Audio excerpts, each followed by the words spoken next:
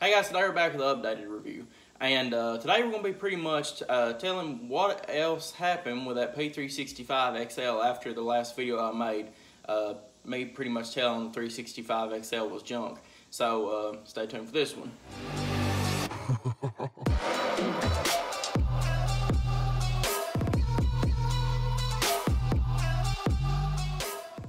Alright guys, we're back. Uh, so as you can see, uh, my P365 XL uh, is junk video is almost right at 17,000 views right now. And uh, it just uh, was published the 11th of July, so that's uh, pretty decent for me. But um, I was going to pretty much make a updated review telling you all pretty much what's happened since then, um, what I've come to some conclusions with the gun, why I really think some things happened with it, some things didn't. Um, but starting off, uh, one of the biggest uh, comments that I've had on that video is that my finger was riding the slide. Nowhere during that video was my finger ever touching the slide.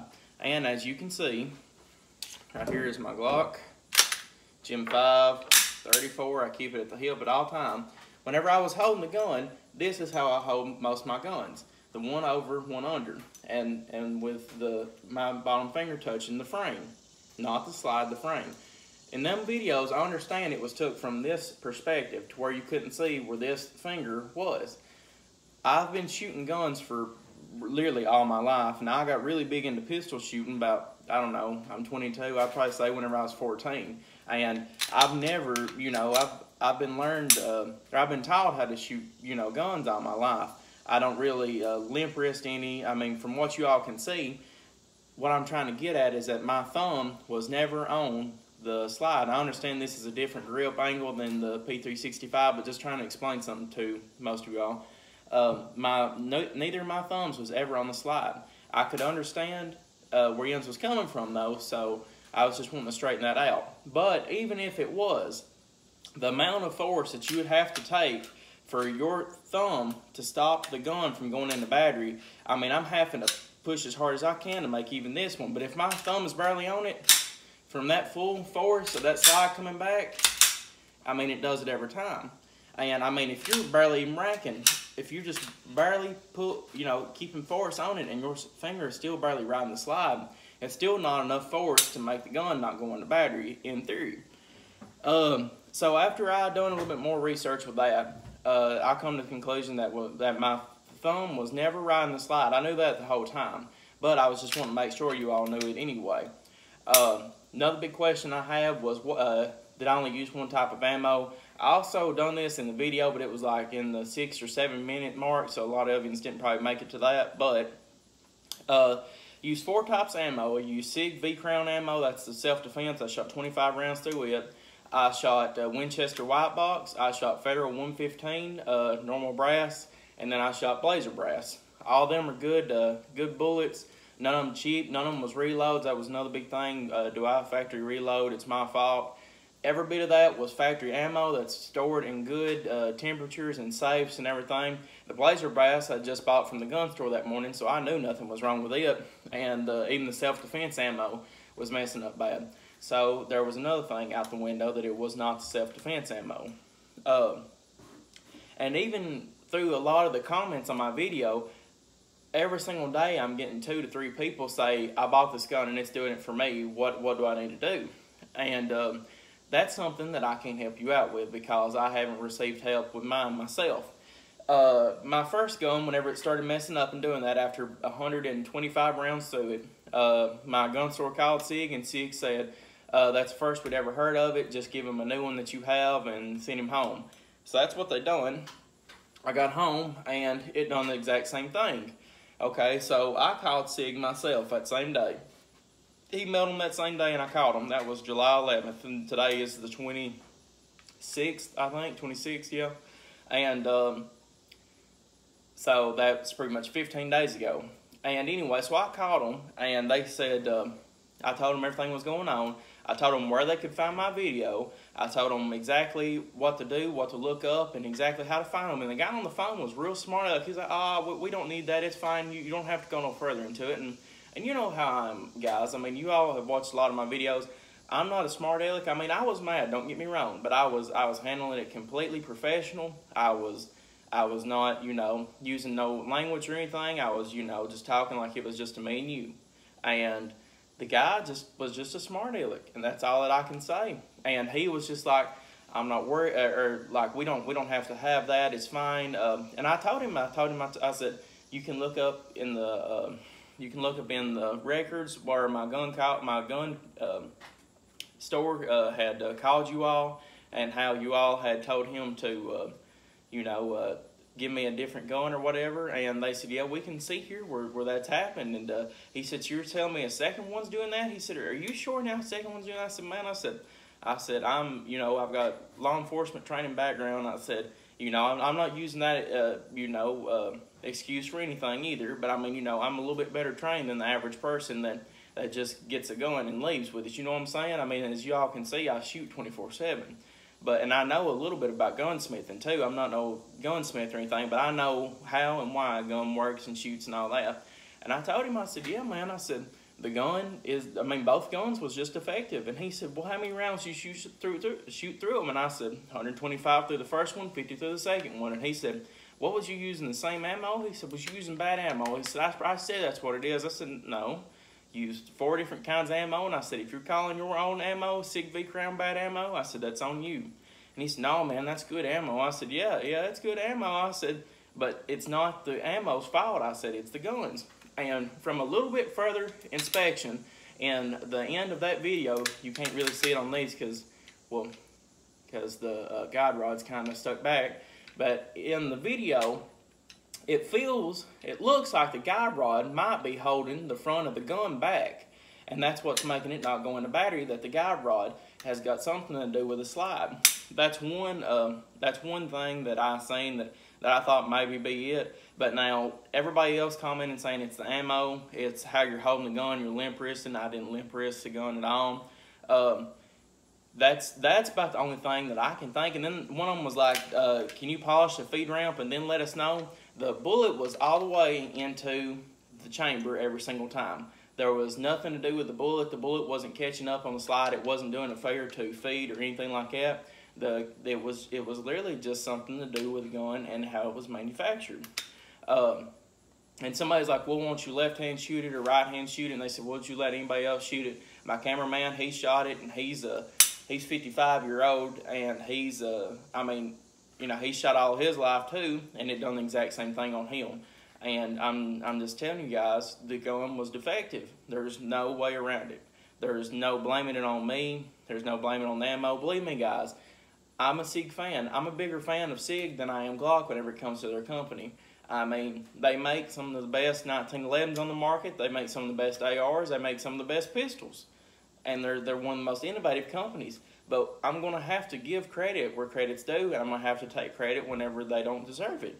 But SIG does not deserve the credit on this gun because it is defective.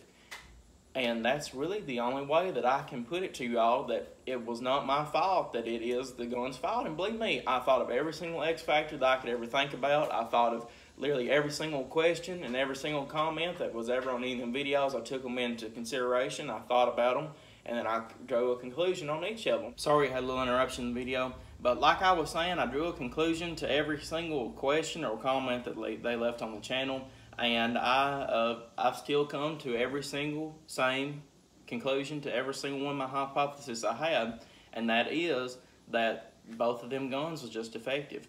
I don't know if it was because that they was both uh, consecutive serial numbers, that one of them was probably made the exact same day as the other one, and maybe their uh, tolerances was a little bit off, or something's going on with the way that it was built or whatever. But there was just there's just something wrong with them two guns. And as you can see, check out Hairy Holster's uh, review of it. He has done the exact same thing as mine did. And uh, like I said, I'm getting three to four comments every day of people saying, mine's doing the same thing, what do I need to do? And that leads to another thing that I'm getting really upset over. Uh, like I said, I called SIG and they was they was pretty much uh, smart Alex. I mean, there's better words for it, but I try to, you know, this is a try to keep this pretty clean uh, gun channel and everything. But now, um, you know, uh, there's better words for what they was to me, and uh, that that I don't I don't uh, respect that, and I don't appreciate that. And uh, a bigger thing is that I left a long uh, long email to them telling exactly what the gun was doing, where they could find everything, and to let me know something as soon as they figured something out, or to let me know something pretty much. I mean, anytime they could, or at least even even i I'm sorry. That would have been fine for me. But that was the 11th of July. It's 26th of July, and I still haven't heard a thing from SIG whenever it comes to the email. And I mean, I pretty much poured my heart out in that email telling them everything that was going on, how much I enjoyed their company, how much I appreciated them, and everything. But now, for them to do this to me, and you all know how many SIGs I've had. You can look on the videos and see how many SIGs I've had, and that's not even probably a half of the SIGs I've had. But literally, for them to do that to as loyal as customers I have been to them, it's really hurt my feelings. And being honest with you, unless I just get one in a trade or something like that, I will never have another SIG Sauer as long as I live. And they can put that in the bank and they can do whatever they want to. But now, until SIG message me back and they tell me something, I'm not I'm not going to be for their their company anymore because I've done nothing to deserve what they have said to me or what they've done to me or them not even messaging me back. But I mean, guys, I mean that's really about it. They're that's the only thing there is to say. And people can say, well, they they get messages every single day and they they have stuff that they got to worry about and they you know they'll be getting back to you. It's been 15 days. I messaged Dan Wesson for them to fix the front side on my gun. The next, literally, I messaged them an hour later, they sent me a postage saying to send it back. I got my gun back in three days. That's Dan Wesson. That's CZ. I mean, literally, they fixed my gun and had it back to me in three days. Glock, I sent off a Glock once because I think one of the sights on it was, uh, the sight in the back was really loose. I sent it to them. They sent it back to me in two days. I'm trying to think what else I've sent off before, and uh, I sent I sent off a Taurus once. They got it back to me in a week. Still, you know, it's still pretty good. And I've sent off a Ruger before and they sent it to me back in a week. And I'm just, you know, I'm just saying this that, yeah, I understand there's gun companies and they're, they're a lot, they're busy and everything. But for them to not even acknowledge my existence and for them to pretty much do what they've done to me on this, it's left a really sour taste in my mouth, and I don't appreciate that, especially with how much money I've, I've spent with their company. Yeah, I'm just a drop in the bucket whenever it comes to how many people's bought stuff, but I mean, it, it's still the it's still the thing behind it is that if they'll do this to me, they would do that to anybody. And they, I mean, from what I've just read from people saying on the comments, if you ever say anything's wrong with their pistols at SIG, they get really offended. And I don't care if they get offended or not, because on this right here, they deserve to be offended. For me to do what I've done and buy two guns in the same day and both of them not work, then I mean that's that's really about all there is. Yeah, I understand I got a little bit heated on the on the junk video, and I probably should have calmed down a little bit before I made that. But if you all would have already had two hundred dollars, over two hundred dollars in gas and ammo, just spending to a, uh, for a gun and that to be all gone in a day, I mean I would I would understand how somebody would be mad. I would hope you would anyway. But now, uh, until Sig messages me back or does something I will never own another SIG Sauer and I will never promote another SIG Sauer on this channel. But guys, I appreciate y'all viewing. I hope, uh, I don't know, I really don't understand what uh, what's going on with this gun. If you all still feel like uh, they're reliable guns and you can trust them with your life, uh, then I understand that. But from seeing what my gun has done and from what uh, other people on YouTube's guns have done, uh, there's really nothing else. There's nothing else to say. But I guess we'll uh, we'll find out in the next coming days if uh, SIG don't message me back. And I've got my email, my uh, on pretty much everything. So if they want to, they're more than welcome to. And they've got my number. They've got everything else. So so pretty much the ball's in your court, SIG. So guys, I appreciate y'all viewing. Um, if y'all have any questions, comments, any more about the P365 XL, just leave them in space below, and I'll try and answer what I can. It's been a while since I've had the gun. But now, and you know, some people was even like, uh, you know, did you like the gun whenever it shot good? It's one of the best pistols I ever shot. I'm being honest with you. Whenever I was shooting it and the way it felt in my hands and the way it, it done recoil, um, I would probably I would probably pack one of them over my P3 or my 938 now. But I can I cannot uh, I cannot trust my life with a gun that done what them guns done on me. So guys, appreciate y'all viewing, like, and subscribe for more gun reviews, and I'll see you all in the next video.